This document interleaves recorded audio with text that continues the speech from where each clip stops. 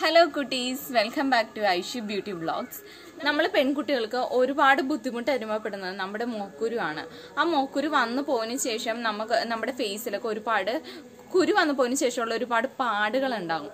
അപ്പൊ അതെങ്ങനെ നമുക്ക് മാറ്റാം? അല്ലെങ്കിൽ അതെങ്ങനെ വരാതിരിക്കാം എന്നതിനെ കുറിച്ചുള്ള ഒരു വീഡിയോ ആണ് നമ്മളിന്ന് ചെയ്യുന്നത്. അപ്പൊ നമുക്ക് വീഡിയോയിലോട്ട് കിടക്കാം.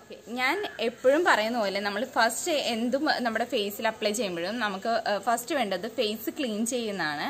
അപ്പോൾ നോർമൽ വാട്ടർ നമ്മൾ ക്ലീൻ ചെയ്താൽ നമ്മുടെ വീട്ടിലുള്ള കടലമാവും പിന്നെ അതുപോലെ തന്നെ മുൾട്ടാനി മട്ടിയും പിന്നെ അതിന്റെ കൂടെ തന്നെ നമ്മൾ പാൽ അല്ലെങ്കിൽ തൈര് തൈര് യൂസ് ചെയ്യുന്നത് ഡ്രൈ സ്കിൻ ഉള്ളവർക്ക് ഏറ്റവും നന്നായിട്ട് യൂസ് ചെയ്യാൻ പറ്റുന്നതാണ് തൈര്.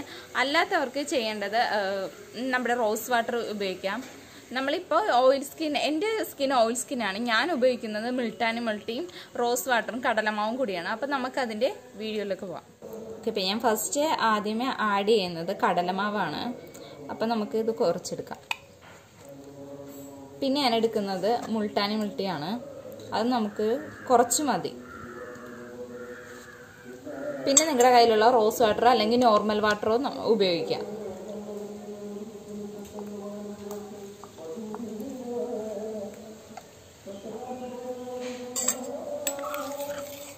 നന്നായിട്ട് മിക്സ് ചെയ്ത് കൊടുക്കണം. പിന്നെ അതുപോലെ തന്നെ ഇത് പെരുട്ടിയാൽ നമ്മുടെ മുഖത്ത് ഒരുപാട് പാടുകളൊക്കെ ഉണ്ടെങ്കിൽ അത് പോയി കിട്ടും. നമ്മൾ ഈ കടലമാവ് നമ്മുടെ ഫേസിലുണ്ടാകുന്ന ഒരു ക്ലീൻ ആകാനായിട്ട് നല്ലതാണ്.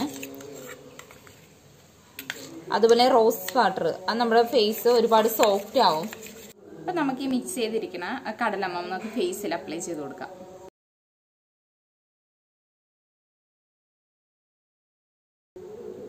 ഇനി നമുക്കിത് കുറച്ച് നേരം ഡ്രൈ ആവാൻ വെക്കാം. ഒരുപാട് അങ്ങ് ഡ്രൈ ആവണ്ട. നമുക്ക് ജസ്റ്റ് ഒന്ന് വലിയാൻ മാത്രമായിട്ട് വെക്കാം.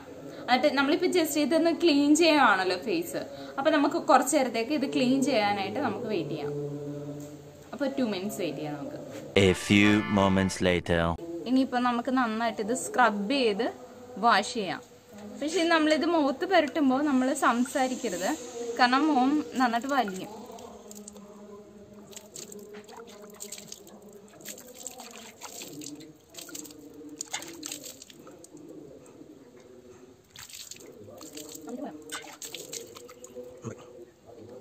നന്നായിട്ട് ക്ലീൻ ആയിട്ടുണ്ട്. ഇനി നമുക്ക് ജസ്റ്റ് തുണി കൊണ്ട് തുടക്കരുത്.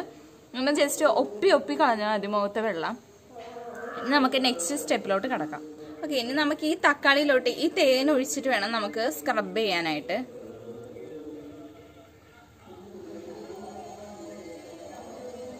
ഇപ്പൊ തേൻ ഒഴിച്ചിട്ടുണ്ട്. അപ്പൊ ഇനി നമ്മളിത് ജസ്റ്റ് ഒന്നെങ്കിൽ മിക്സിയിലിട്ട് നമുക്ക് തക്കാളി അടിച്ചിട്ട് അതിൽ തേൻ ആഡ് ചെയ്യാം. ഇല്ലെങ്കിൽ നമുക്ക് ഇതുപോലെ തന്നെ നന്നായിട്ട് തക്കാളിയിൽ ഒഴിച്ചിട്ട് നമുക്ക് സ്ക്രബ് ചെയ്യാം. തേൻ ഒഴിച്ചിട്ട്. നല്ല പഴുത്ത തക്കാളി ആണെങ്കിൽ നല്ലതായിരിക്കും.